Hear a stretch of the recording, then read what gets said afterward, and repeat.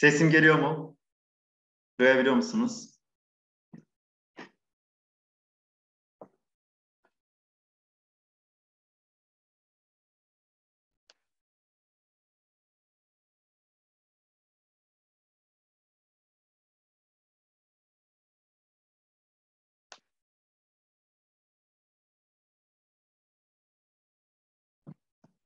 Evet arkadaşlar duyabiliyor musunuz beni?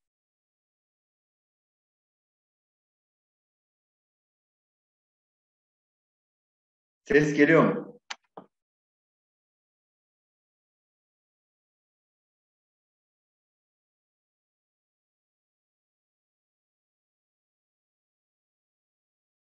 O zaman başlayalım. Hazır mıyız? Arkadaşlar sesim geliyor mu? Ha, tamam. Tamam ses de geliyorsa o zaman başlamamız için hiçbir engel yok. Değerli arkadaşlar ee, şimdi anayas e, bugün size idare tanıtımını yapacağız. Ee, bilginiz olsun. Ee, biliyorsunuz arkadaşlar idare okulundan e, genel anlamda birçok öğrenci zorluk çekiyor. E, bu konuda hiç e, kuşkunuz olmasın. E, benim size tek tavsiyem e, derse düzenli ve istikrarlı bir şekilde katılmanız. E, ben hep söylüyorum. Arkadaşlar e, buradan en az e, yani idare okulunun yelpazesi çok geniş. E, gerek e, kaymakamlıkta e, gerek e, yani e, şunu, söyleyeyim size. Eğer ki bir kurum salonuna giriyorsan orada kesinlikle anayasa ve idare vardır. Bana bir anayasa ve idarenin olmadığı bir kurum sınavını kimse söyleyemez. Yani ben birçok kurum sınavına girdiğim için bu konuda da arkadaşlar bayağı tecrübeliyiz, deneyimliyiz. Ee, bilginiz olsun. Bugün size biraz mini idare okulundan bahsedeceğim. Değerli arkadaşlar biz idare okuluyla e, diğer hukuklarla biraz kıyaslama yaptığımız zaman idare genç bir hukuk dalıdır. İdare okulu arkadaşlar daha oturmamış saçları, genç olduğu için birçok şey buraya gidiyor. Şimdi arkadaşlar ben size şunu söyleyeyim. Asıl idare dediğim kısım neresidir? Bizde bir yasama var, bir yürütme var, bir de yargı var. Bizde asıl ülkeyi idare eden, yöneten kimdir biliyor musunuz arkadaşlar? Yürütmedir. Yani bir yasama var, bir yürütme var, bir de yargı var. İdare dediğin kısım yürütmedir. Peki arkadaşlar şunu çok iyi bilin. Yürütmede kim var bize? Bir tanesi Cumhurbaşkanı, bir diğeri de kim? Bakanlar diyeceksiniz. Değerli kardeşim, 1982 anısına göre yürütme etkisi kime aitmiş derse ne diyeceksiniz arkadaşlar?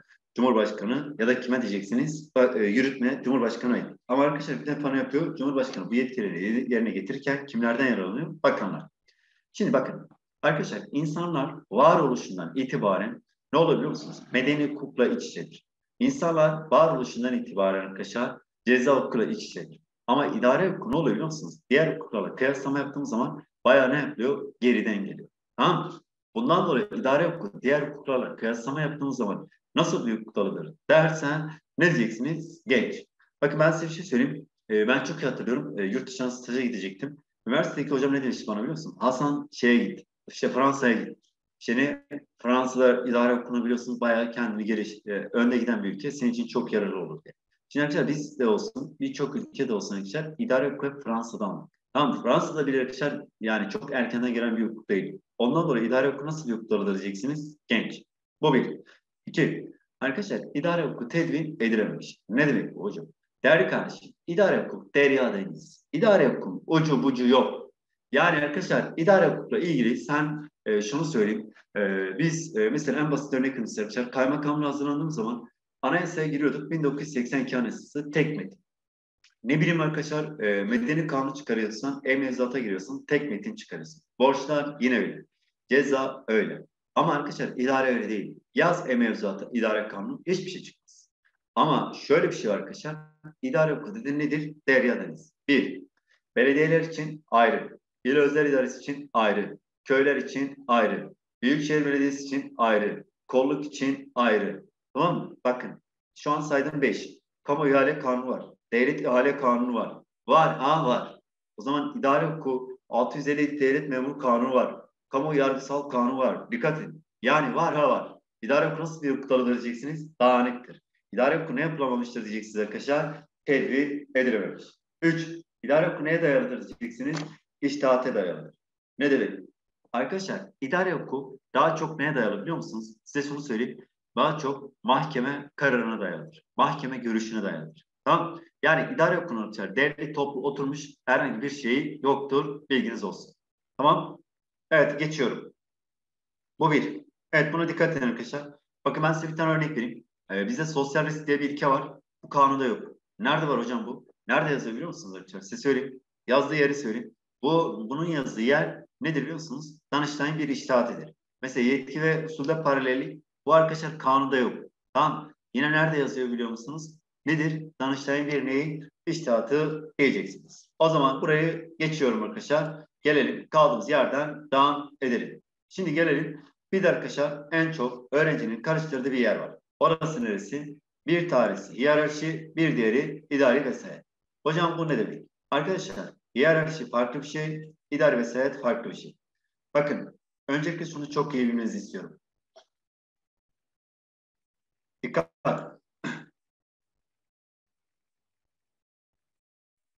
Şimdi hiyerarşi nedir? Pardon. İdari vesayet nedir? Bakın arkadaşlar birçok kişi bundan zorluk çekiyor. Hemen size kısaca anlatayım. Öncelikle arkadaşlar bizde bir başkent teşkilatı var, bir de taşra teşkilatı var. Başkentte taşra arasında nasıl bir ilişki var biliyor musunuz? Hiyerarşi. Değerli kardeşim, şunu çok iyi bilin. Şunların hepsinin devlet tüzel kişiliği vardır. Bu bir. Ne tüzel kişiliği var arkadaşlar? Devlet tüzel kişiliği. İki, bunların kasası nedir? Tektir. Üç, kasa nedir? Tek. Dört, bunlar arasında nasıl bir ilişki var diyeceksiniz? Hiyerarşi. Tamam Nasıl bir ilişki var arkadaşlar? Hiyerarşi. Yani az üst ne ilişkisi. Tamam Kasa tek. Devlet tüzel kişiliği var. Arasındaki ilişki nedir? Hiyerarşi. Yani başkentle taş arasında nasıl bir ilişki var diyeceksiniz. Nasıl? Hiyerarşi diyeceksiniz. Tamam mı? Var mı problem? Anlamayan var mı? Bak dikkat edin. Yani arkadaşlar parayı veren kim? Merkez. Musluğu kısan kim? Merkez. Yani biri sana para veriyorsa arkadaşlar seni o yönde de çalıştırır. Sen bir şey diyemezsin. Sana ne diyorsa onu yapacaksın. Tamam mı? Durum bu. Şimdi başkentle taşlar arasında nasıl bir ilişki var diyeceksiniz? Hiyerarşi diyeceksiniz. Mesela arkadaşlar en basit örnek vereyim. İçişleri Bakanı'yla ben şu an Bandırma'dayım. Bandırma kaymakam arasında nasıl bir ilişki var derse ne diyeceksiniz arkadaşlar? Evet. Var mı bilen? Hiyerarşi. Nasıl? Devlet tüzel kişi. Devlet tüzel kişili arasındaki ilişki nedir diyeceksiniz? Evet tekrardan söylüyorum size. Devlet tüzel kişiliği, devlet tüzel kişiliği arasındaki ilişki nedir derse ne diyeceksiniz biliyor musunuz arkadaşlar? Hiyerarşi diyeceksiniz. Tam devlet tüzel kişiliği, devlet tüzel kişiliği. Mesela arkadaşlar hiyerarşinin en yo yoğun olduğu yerden askeridir. İşte Genelkurmay Başkanı, albay, yarbay böyle geliyor. Binbaşı, yüzbaşı, üst teğmen, az teğmen, asbay, bundan sonra çavuş, er. Ben er olarak yaptım. En alt pozisyonda arkadaşlar yaptım. Tamam mıyız? 21 günlük askerlik yapmıştım ben. Çok iyi hatırlıyorum. Ee, biz neydik biliyor musunuz arkadaşlar? Üstten bir emir geliyordu. Ona uymak zorundayız. Tamam Nasıl bir vardı? Bir silsile vardı. Bunun ismi nedir işte arkadaşlar? Hiyerarşi diyeceksiniz. Ve gelelim. Değerli kardeşim, şöyle de bir şey vardır. Ee, bununla bunun arasındaki ilişki hiyerarşidir. Bir de şöyle bir şey var. Dikkat edin. Bir de bu diğer taraf var. Kamu tüzel kişilik. Şimdi arkadaşlar bir kere tüzel demek kamu tüzel. E, kurumun e, özel demektir. Özellikle e, merkezi idare tamamıyla kendi kafasına göre hareket etmesi. Merkezi idare e, ne yapmasın biliyor musun arkadaşlar? E, tamamıyla kendi kafasına göre hareket etmesin. Kendi siyasi amelleri için tüm kamu kurum ve kuruluşlarını ne yapmasın arkadaşlar? Kullanmasın. Bundan dolayı bazı kurumlara ne vermişler? Kamu neyi? Tüzel kişiliği. Mesela arkadaşlar gelelim. Eğer ki bir kurumun kamu tüzel kişiliği varsa onun kendine ait geliri vardır, kendine ait gideri vardır. Kasa nedir? Ayrı. İki. İkinci şey şu. Bunların neyi vardır? Kamu neyi? Söyleyin. Tüzel kişiliği. Üç.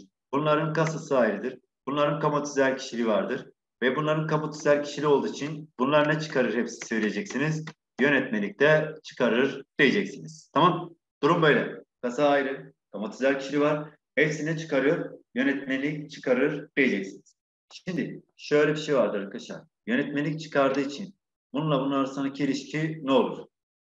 Değerli kardeşim, yönetmelik çıkardığı için arkadaşlar bunun arasındaki ilişki nedir diyeceksiniz? Söyleyebilirsiniz. Hiyerarşi değil. Ne diyeceksiniz? İdarine vesayet diyeceksiniz. Evet buna bunun arasındaki ilişki neymiş arkadaşlar? İdari vesayet diyeceksiniz. Mesela en basit örnek vereyim Arkadaşım senin kamu tüzel kişiliğin var diye sana kim e, şöyle bir şey var. sen tamamıyla kendi kafana göre hareket edemezsin.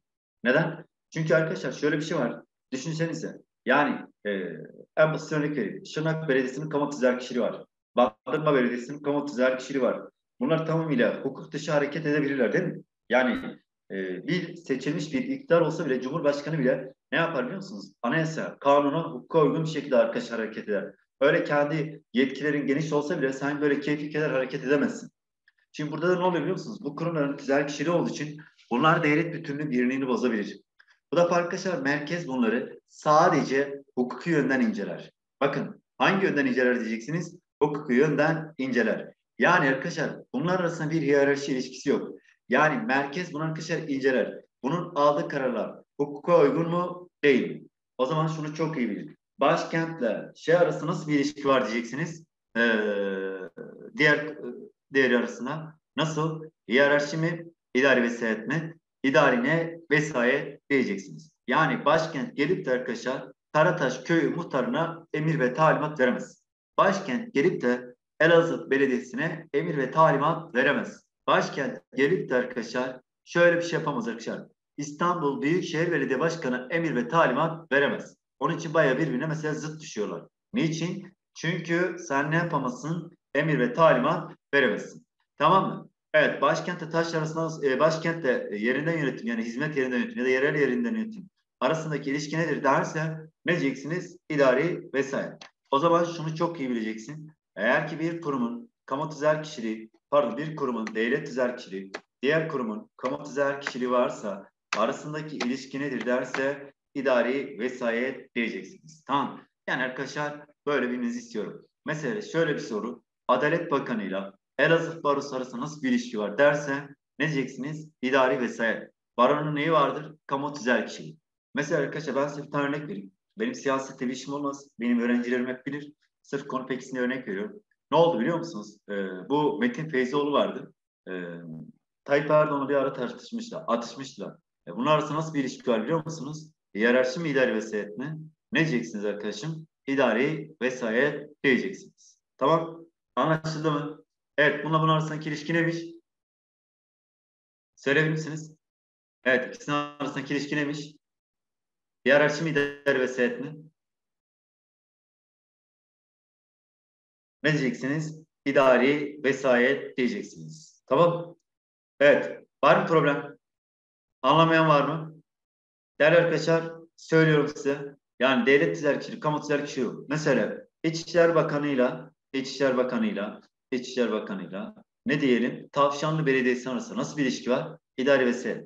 Ya da Kültür Turizm Bakanı'yla Türk Dil Kurumu, Türk Tarih Kurumu arasında nasıl bir ilişki var? İdari ne vesayet diyeceksiniz. Tamam Mesela Hazine ve Maliye Bakanı'yla BDDK arasında nasıl bir ilişki var? İdari vesayet diyeceksiniz. Tamam biz bunlar arkadaşlar çok iyi bilmenizde fayda vardır. Sınavda soru çıkabilir. Ya da Ulaştırma Altyapı Bakanı'yla TCDD arasında nasıl bir ilişki var diyeceksiniz yine. İdari vesayet diyeceksiniz. Tamam. Durum böyle arkadaşlar. Bilmenizde bayağı fayda var. Değerli kardeşim bir de idarenin bütünlüğü vardır. İdare bütünlüğü neyle sağlar? Mesela benim girdiğim kurum sınavında en çok karşılaştığım sorulardan bir tanesi budur. İdare bütünlüğü iki şeyle sağlar. Bir tanesi hiyerarşidir, bir diğeri de idari vesayettir diyeceksiniz. Tamam. İdarenin bütünlüğü neymiş? Hiyerarşi ve idari vesayet diyeceksiniz. Bilginiz olsun. Evet, idarenin bütünlüğü neymiş arkadaşlar? Bir tanesi hiyerarşi, bir tanesi nedir arkadaşlar? İdari vesayet diyeceksiniz. Başkentle taş arası nasıl bir ilişki var? Söyleyebilir misiniz? Nasıl? Hiyerarşi diyeceksiniz. Peki başkentte arkadaşlar yerinden yönetimler arasında nasıl bir ilişki vardır? Ne diyeceksiniz? İdari vesayet diyeceksiniz. Tamam. Evet. Değerli kardeşim. Bunu da söyledikten sonra geçiyoruz. Bir sonraki slaytımıza. Ee, buradan bazen soru gelebilir. Onun için e, dikkat etmenize fayda vardır. Şimdi değerli kardeşim geçiyorum. Bunu da temizledik. Bir sonraki slayta geçiyoruz.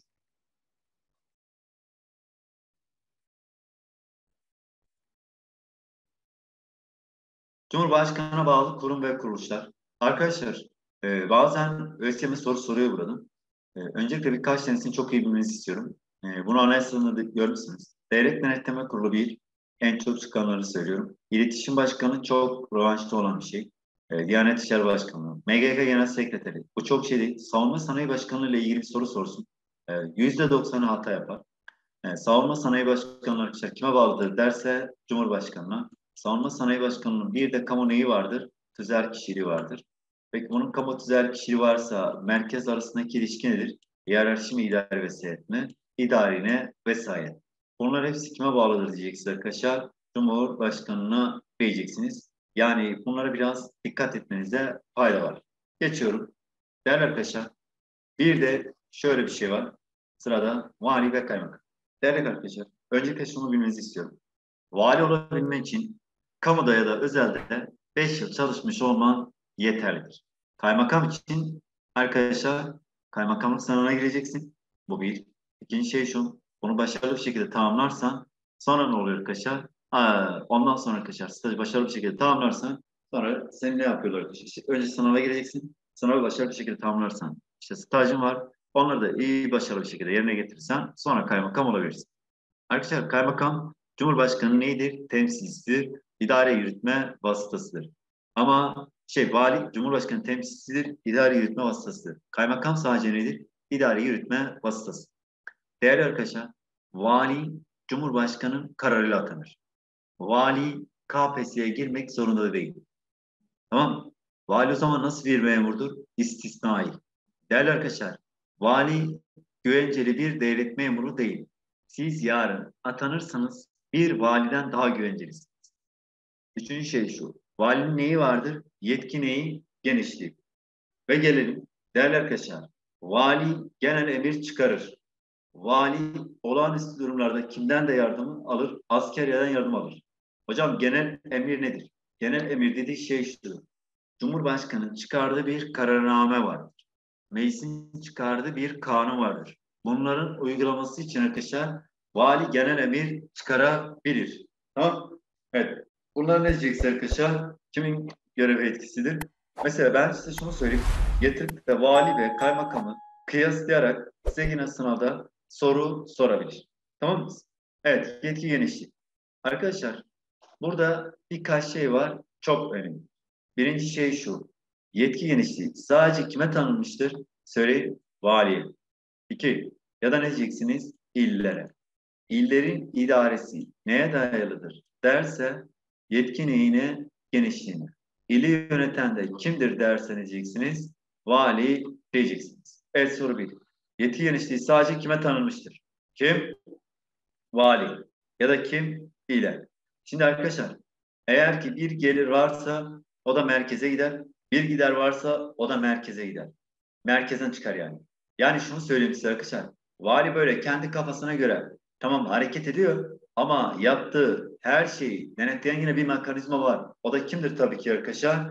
Merkez diyeceksiniz. Tamam Ve nasıl bir ilkedir? Anayasal. Arkadaşlar yetki genişliği öyle basit bir şey de değil. Yani düşünseniz arkadaşlar 81 tane ilim valisi var. Yaptığı her şey için bakandan izin alırsa o zaman bakanlık arkadaşlar çağrı merkezine dönüşecek. Onun için ne yapıyorlar biliyor musunuz arkadaşlar? Buranın çağrı merkeze dönüşmemesi için vali ne yapıyor biliyor musunuz? Direktmen kendisine yapıyor, bu yetkisini kullanıyor. Evet soru bir. Yetki genişliği sadece kime tanınmıştır? Valiye. İki. Soru iki. Nasıl bir ilkedir? Anayasal bir ilkedir. Gelir varsa merkeze ait, gider de varsa merkeze aittir diyeceksiniz. Tamam. Valinin yetki genişliği bakın arkadaşlar. Şunu söyleyeyim. Gelir uzman yardımcılığına ben girmiştim. Çok iyi hatırlıyorum. Aşağıdakilerden hangisinin yetki genişliği vardır? A. ilçe B. Bucak C. Köy D. Belediye E. il. Ne diyeceksiniz? İlin. Çünkü ili yöneten kimdir? Vali. Bakın mesela arkadaşlar en basit örnek size şunu söyleyeyim. İstanbul'da hatırlıyor musunuz? Ee, bu sene kar yağmıştı. Yoğun bir kar. Kapanma oldu. Vali ne yaptı biliyor musunuz arkadaşlar? Dedi ki ne? Tüm illerin giriş e, pardon kamuda çalışan sağlık ve askeri personeller hariç diğerleri hepsine sayılacaktır. İdarine izinli sayılacaktır. Peki vali bunu neye dayanarak yaptı biliyor musunuz? Yetkinliğine, genişliğine. Tamam? Evet. Bunlar arkadaşlar çok önemli bir bilgi. Sınavda soru çıkabilir. Tekrardan söylüyorum. Sadece kime tanınmıştır? Valiye. Sadece kime diyeceksiniz? İllere. İllerin idaresi neye dayalıdır? Yetkinliğine genişliğine diyeceksiniz. Evet, mesela bu soruya ne diyorsunuz? Hangisi yerel yönetimler içerisinde yer almaz? Kim yer almıyor? Var mı bilen? Evet. Hangisi yerel yönetimler içerisinde yer almaz? İl özel idaresi mi? Belediye mi? Köy mü? Değerli kardeşim, hangisi yer almaz? İl özel idaresi var. Tamam mı? Belediye idaresi de var. Büyükşehir Belediyesi de var. Köy de var. Ama kim yer almıyor? Var mı cevap verebilecek? Kim? Ne diyeceksiniz? İlçe yer almaz. İlçe nerede yer alır? Taşra'da. Tamam mı? Cevap Bursa. Şimdi değerli kardeşim şöyle bir şey var. Bu yerel yönetimlerle ilgili. Size tek tek söyleyeyim. Bir. Arkadaşlar bunların hepsinin kamu neyi vardır? Söyleyin. Hepsinin kamu neyi vardır? Söyleyebilir misiniz? Güzel kişilikleri vardır. Bu bir. İki. Bunların hangi organları seçimine gelir derse karar organları seçimine gelir. Bu çok önemli. Hangi organı seçimine geliyor? Karar organı. Üç. Bunların yer, e, ne çıkarabilir hepsi? Yönetmelik çıkarır. Dört. Bunlar aralarında birlik kurmasına da kim izin verir derse ne diyeceksiniz biliyor musunuz? Birlik kurmasına kim izin verir? C, B diyeceksiniz. Tamam. Evet. Bunların hangi organları seçimine geliyormuş? Karar organları. Aralarında birlik kurmasına kim izin veriyormuş diyeceksiniz? Cumhurbaşkanı. Mesela şuna çok dikkat edin. Yerel yönetimlerin tüm organları seçimle gelir. Bu ifade yanlış. Hangi organı diyeceksiniz arkadaşlar? Dikkat, dikkat, dikkat. Hangi organı diyeceksiniz? Karar organı diyeceksiniz. Tamam mıyız? Anlamayan var mı? Evet, tekrardan söylüyorum size arkadaşlar. Yerel yönetimlerin hangi organları seçimle gelir diye bir soru gelirse ne diyeceksiniz? Dikkat. Ne organı?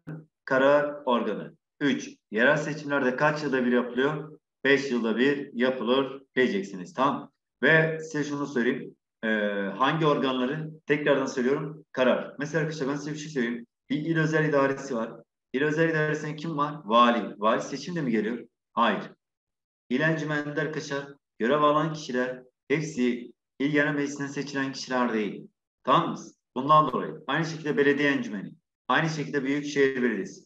Bunlar hepsi nedir? Seçimde değil. Mesela köye de gelince arkadaşlar köyün doğal tabi üyesi vardır. İmam ve öğretmen. Tamam Bundan dolayı da arkadaşlar dikkat etmenizde fayda vardır. Ve gelelim. Değerli arkadaşlar şunu söyleyeyim. Evet belediye nüfusuna sınırı kaçtır? Kaç bunu artık birçoğunuz yapmanız lazım. Kaç diyeceksiniz? 5000. Şimdi arkadaşlar öncelikle size şunu söyleyeyim.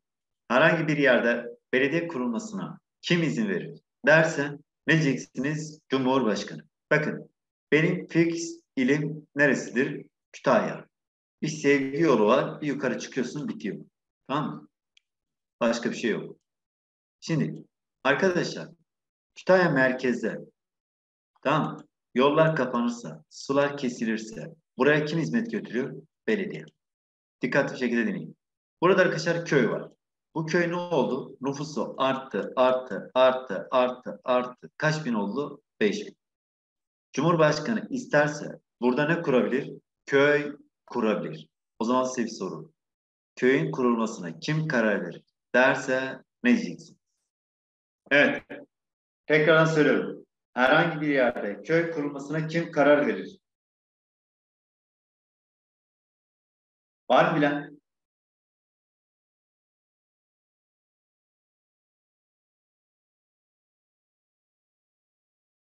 Kim?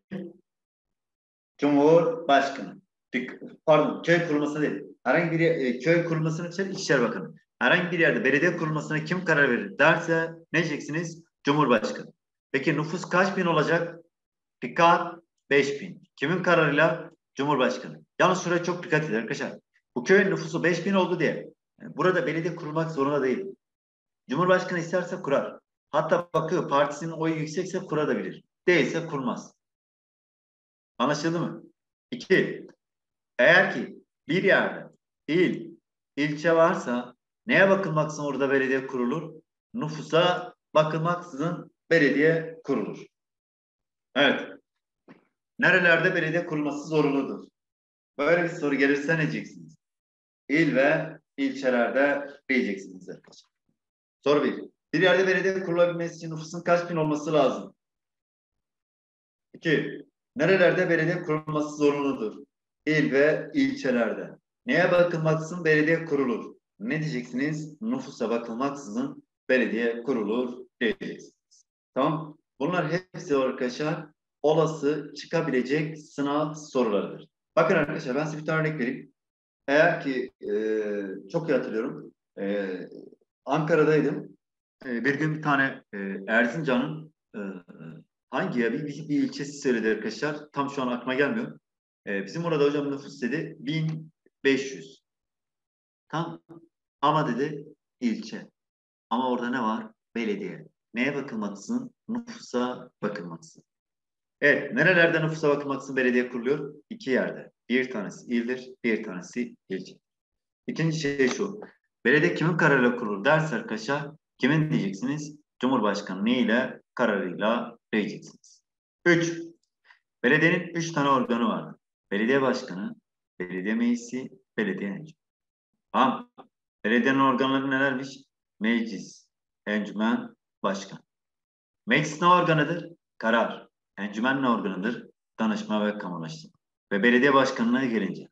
Arkadaşlar nerede meclis görürsen karar organı diyeceksiniz. Nereden encümen görürsen danışma ve kamulaştırma diyeceksiniz. Ve gelelim hakkında soruşturma açılan bir belediye başkanı kim görevden uzaklaştırır derse ne diyeceksiniz? İçişleri Bakanı. Peki kim görevden olur? Danıştay. Bak kardeşim bunlar çok büyük kelime oyunları. Tamam Hakkında soruşturma açılan bir belediye başkanı kim görevden uzaklaştırıyormuş? Dikkat dikkat dikkat. Kim? İçişleri Bakanı. Alan kim? Danıştay. Neden? Mantığını iyi bil. Arkadaşlar ne oluyor biliyor musunuz? Mesele ne diyoruz? Uzaklaştıran. İçişleri Bakanı alan kimmiş? Danıştay diyeceksiniz.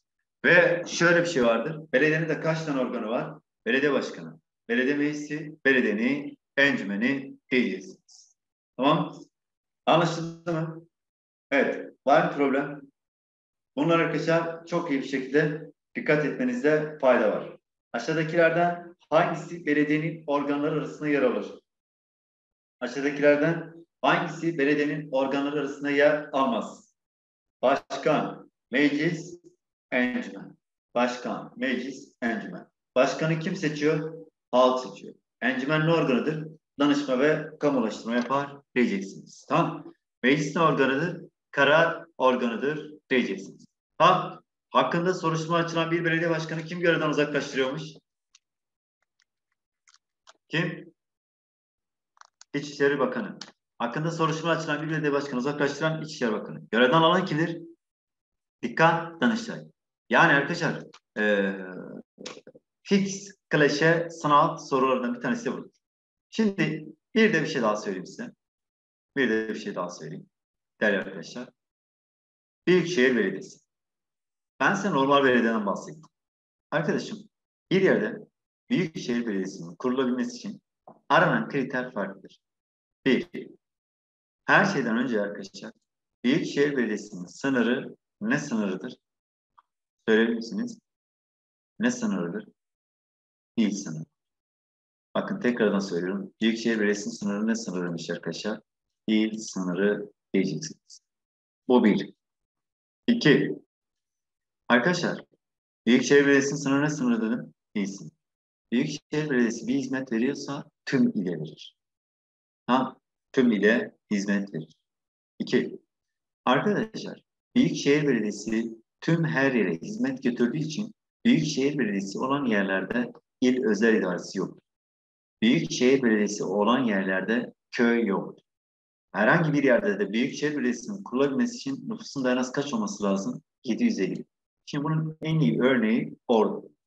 Ordu'nun nüfusunu saydılar 735 Büyükşehir Belediyesi olabilir mi? Hayır. Sonra arkadaşlar ne yaptılar? Bir daha saydılar. Yine bir şey çıktı. Sonra arkadaşlar dediler ki Ankara'da, İstanbul'da yaşayan ordular gelsin. Ordular geldiler arkadaşlar. Nüfus kaç oldu? 745. Yine sağlayamadı. Sonra ne oldu arkadaşlar? Dediler ki ne olsun? Biraz daha gelin. Yine geldiler. 747.500 oldu. Peki Büyükşehir Belediyesi olabilmesi için nüfus kaç olması lazım? 750 bin. Ve ne oldu biliyor musunuz arkadaşlar? En son ne oldu? Size şunu söyleyeyim. Biraz daha katılanlar oldu ve en son ordu ne oldu arkadaşlar? Birkaç bürokrat da devreye girdi. Ordu Büyükşehir Belediyesi oldu. Mesela Türkiye'de kaç tane Büyükşehir Belediyesi var diye bir soru gelirse ne yaparsınız? Evet kaç tane Büyükşehir Belediyesi var? Evet kaç? Var mı bilen? 30 tane Büyükşehir Belediyesi var arkadaşlar. En son katılan ilimiz hangisi biliyor musunuz? Ordu diyeceksiniz. Tamam Evet. Yani fix bir soru vardı. 30 tane Büyükşehir Belediyesi, bir de Zonguldak. Buradan geliyor. Tamam. Kaç nüfus? 750 bin. Nere nüfus olacak? Merkez sınırı mı yoksa il sınırı mı? Ne diyeceksiniz? İl sınırı. Yani tüm ilin nüfusu 750 bin ise o. Bakın ben size bir örnek vereyim. Ee, çok iyi hatırlıyorum. Ee, Eskişehir'de arkadaşlar böyle Eskişehir'in bayağı bir uzak yerine gitmiştim. Ee, böyle doğal yerleri severim. Ee, gittim oraya arkadaşlar. Ne oldu biliyor musunuz? Ee, içeri girdim. Böyle yakın bir yere. Baktım iki tane yaşlı amca var arkadaşlar. Böyle belediyenin halk otobüsü arkadaşlar. Kalkış saatine doğru durağa geldiler. Amca dedi sizleri alayım dedi. Yok dedi. Ee, iki tanesi bindi hatta. Bir amca daha vardı. Ben belediyeyle gidiyorum dedi. Allah Allah dedim. Nasıl dedim. Yani belediye bizi ücretsiz götürüyor dedi. Tamam dedim. Ben de ücret ücret almam dedim. Ee, ya işte eve daha çok yakın gidiyor dedi. O zaman tam bir şey diyemem dedim. Şimdi arkadaşlar ne oluyor biliyor musunuz? Ee, şöyle bir şey var. Ee, bunlar bir kere 65 yaş üstü olduğu için bunlara bir pozitif ayrımcılık yapıyor. Ee, bu defa arkadaşlar bu bir. İkinci şey şu. Ee, şimdi e, adamlar e, bedavada olduğu için e, evde ne bileyim e, birileriyle tartışmaktansa diyorlar işte ise diyor köye gidelim. Hem biraz bağ bahçe işleri uğraşalım. Hem de biraz doğanın içinde olalım. E, bu defa ne yapıyorlar bunlar biliyor musunuz arkadaşlar? E, şeye biniyorlar. E, nedir size söyleyeyim? Belediye biniyorlar. Sabah Ondan sonra geliyorlar köyde orada çalışıyorlar. Ama artık köy yok. Burası mahalle. Ama yaşam tarzı tamamıyla bir köy yaşam tarzı. Sonra akşam olunca arkadaşlar tekrardan hepsi ne yapıyor? Akşama doğru yine binip geri dönüyorlar. Şimdi bakın dikkat edin arkadaşlar. Ee, normalde burası Büyükşehir Belediyesi olmadan önce oraya Büyükşehir Belediyesi'nin otobüsü gelmez. Ama artık Büyükşehir Belediyesi oldu. Ve bir de arkadaşlar şöyle bir şey aslında 2014'te, e, 2012'de yasa değişikliğinden sonra 2014'te tamamıyla uygulanmaya başladı. Ve ne oldu biliyor musunuz? Artık Büyükşehir Belediyesi'nin sınır, il sınırı olduğu için Büyükşehir Belediyesi burada ne yapıyor arkadaşlar? Oraya hizmet götürüyor. Oradaki tüm köyler mahalleye dönüştü. Artık köyün kamu, mahalleye dönüştüğü için mahallenin kamu tüzel yok. Ve bunların artık bir geliri de olsa merkeze gider, gider de olsa merkezden çıkar. Ve size şunu söyleyeyim. Önceden oralarda su saati yoktu. Artık su saati takıldı. Önceden ne bileyim arkadaşlar orada çöp vergisi diye bir şey yoktu. Artık çöp vergisi de geliyor. Yani niçin bunlar oluyor biliyor musunuz arkadaşlar? Çünkü neden? Büyükşehir Belediyesi'nin sınırı ne sınırıdır diyeceksiniz arkadaşlar? İl sınırıdır diyeceksiniz. Büyükşehir Belediyesi nereye hizmet götürür diyeceksiniz arkadaşlar? Tüm ile götürür. Tamam. Ve arkadaşlar bir şey daha söyleyeyim size. Ee, Büyükşehir Belediyesi olan yerlerde dediğim şekilde bu iki birim yoktur. Bunun hizmetini kim yerine getireceksiniz? Ee, ne yapacaklar arkadaşlar? Köyünde il özel hizmetlerini Büyükşehir Belediyesi yerine getirir. Bunun kararının kesinleşmesi, mesela belediye meclisi bir karar alır, onu belediye başkanına gönderir. Tamam Belediye başkanı bunu beğenmezse iade eder. Eğer ki belediyenin üye tam sayısının yarıdan bir fazla üye tam sayısını karar da ısrar ederse bu karar kesinleşir. Artık bunu yapabileceği yok bir şey belediye başkanı. Onu arkadaşlar mülki idare amire gönderir. Yani bize hani biliyorsun bir kanun çıktığı zaman Cumhurbaşkanı ediyor ya. İlde de arkadaşlar biliyorsun Cumhurbaşkanı temsilcisi kimdir? Validir. Yani burada da arkadaşlar meclisin bir alt fonksiyonu kimdir diyeceksiniz? Büyükşehir Belediye'nin meclisi. Öyle düşünün. Ve isterse arkadaşlar belediye başkanı bunun için 60 gün içerisinde dava açar. Şimdi normal belediyelerde arkadaşlar iade süresi 5 gündür. Dava açma süresi de 10 gün. Ama büyük şehir dediği için bunlarda biraz süre daha farklıdır. Büyük şehirde dava açma süresi 60, normal belediye 10 gün. Normal belediyelerde arkadaşlar başvuru süresi 5 gün, iade süresi de e, büyükşehir belediyelerinde de 7 gündür diyeceksiniz. Tamam Arkadaşlar Büyükşehir Belediye Meclisi kendi arasında bir başkan başkanı seçmez. Büyükşehir Belediye Başkanı zaten meclisinde ne